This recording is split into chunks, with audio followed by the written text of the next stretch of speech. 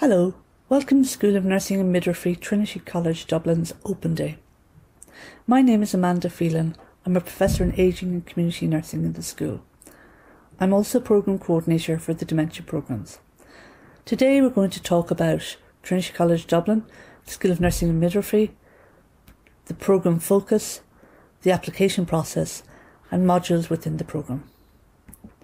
Trinity College Dublin is a historic campus established in 1572 and located in the city centre of Dublin. It comprises three faculties Faculty of Arts, Humanities and Social Science, the Faculty of Engineering, Mathematics and Science, and the Faculty of Health Sciences. In all, we have over 18,000 students on our undergraduate and postgraduate programmes, and this represents a diverse population with students from multiple backgrounds in over 120 countries. This enriches our ability to deliver global level education, where we can share experiences within countries, within backgrounds. Our rankings globally are first in Ireland and 101st globally. We also have world class facilities with the largest library in the Republic of Ireland. And we also have world class educational technology facilities, administrative support, and education. The School of Nursing and Midwifery is ranked first in Ireland and 48th in world rankings. This reflects the excellence in scholarship and teaching within the school and the diversity of our student population. Our student population is mainly nurses and midwives, but programmes such as the dementia programmes attract students from other health and social care disciplines. Our focus is student centred to support each student in their learning journey and to foster individual and peer learning. Our teaching staff are world leaders who have impact both nationally and internationally within the subject areas they teach. Our mission is improving health at an individual, community, societal, and global level. This centres around competency development, and our focus is to improve healthcare practice, management, leadership, research, ultimately guiding learning and enhancing students' expertise in their chosen areas of study. The dementia programmes have multiple focus. We will guide students to appreciate the national and international context of dementia and dementia care Students will identify and critically analyse the different philosophies, perspectives, and approaches that inform best practice in dementia care. We promote positive attitudes and enhanced understanding of the experience of living with dementia. We value the importance of involving persons with dementia in developing high quality dementia care services that meet their actual needs. We aim to provide students an advancement in their professional knowledge in supporting persons with dementia through enhanced knowledge, reflective skills, and research based evidence. And the programme will let you critically appraise methods of accurate assessment, differential diagnosis, and understand pharmacological and non pharmacological approaches to the management of dementia. In addition, you will learn how to communicate effectively with persons with dementia, their informal caregivers, and other professionals across the continuum of care.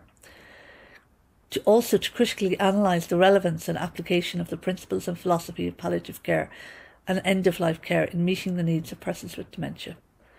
Students learn to differentiate the distinct contribution of team members in an interdisciplinary model of dementia care practice and appreciate the need for effective collaboration with other disciplines. This involves identifying, leading, conducting, disseminating, and publishing research which advances excellence in dementia care practice at the local, national, and international contexts.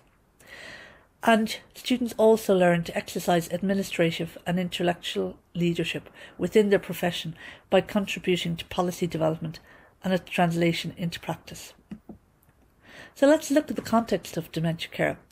Dementia care requires a growing multi professional discipline throughout the world as the incidence and prevalence increases. Expert dementia care then becomes increasingly important. And this is interdisciplinary, so interprofessional education in dementia care represents a way forward with regard to improving the understanding of professional roles and collaboration in delivering quality services and also policy development. So, in effect, if dementia services are to be improved now and into the future, you need a responsive integrated health service and social pathways which are needed for people with dementia and their caregivers. So, what we aim to do is provide graduates of this programme to apply their learning and they are expected to promote and develop excellence in their practice setting and work competently within a person centred approach and within a multidisciplinary team environment. So, the aim of the programme is, is an interdisciplinary programme is to facilitate students' development of comprehensive academic and evidence based to their practice and to critically explore and critique dementia care services and their delivery. The programme does have an option to undertake a clinical module. For students who have opted for this, there is a depth presentation at the orientation stage for both students and preceptors. However, please note, students are required to source their own clinical placements and make suitable arrangements which comply with the programme requirements.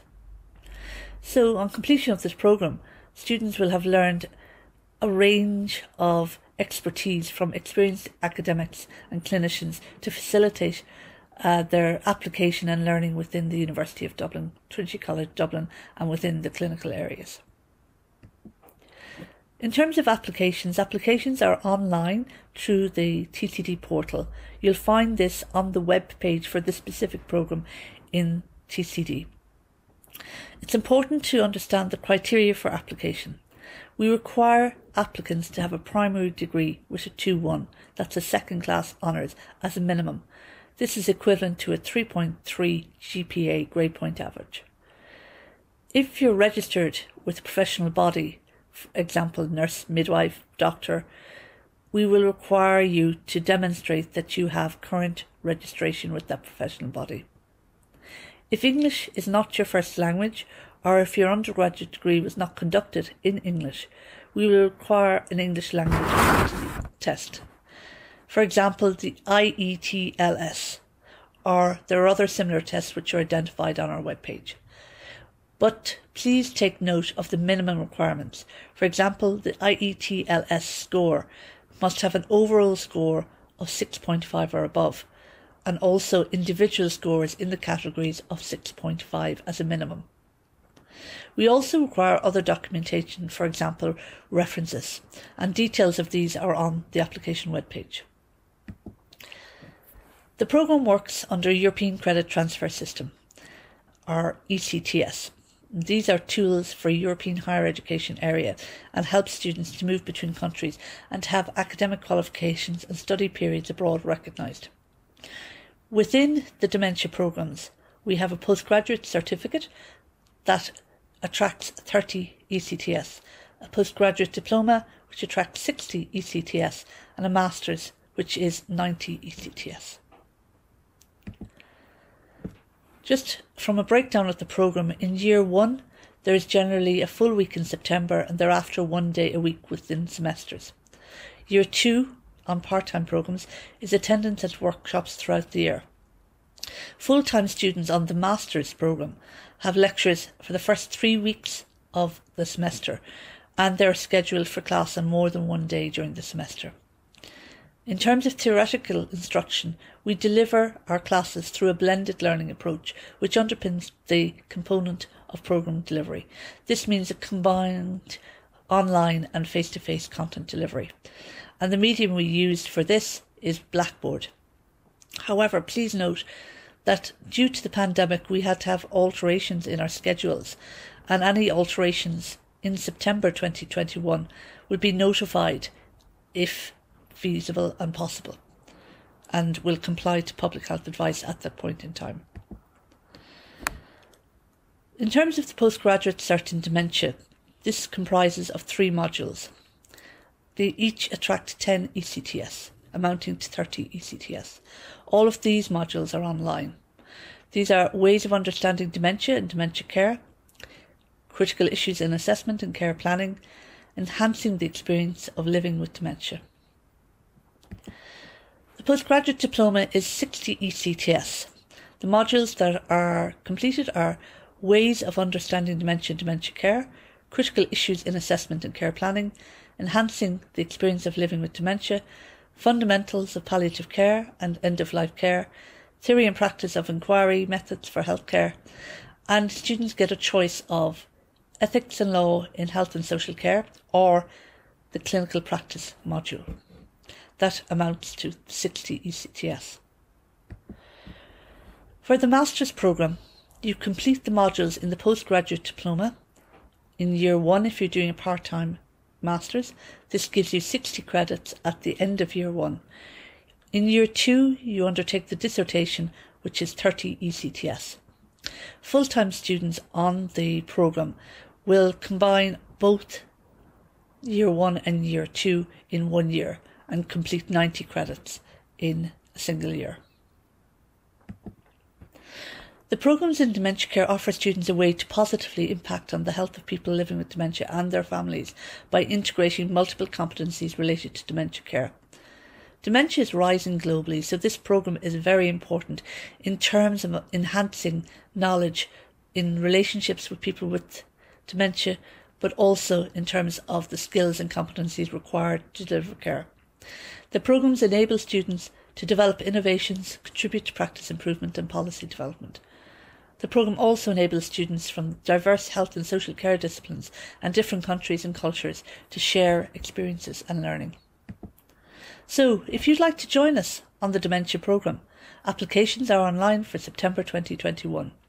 You can go to this website address to access the programmes, and for additional information, please contact a1 at tcd.ie.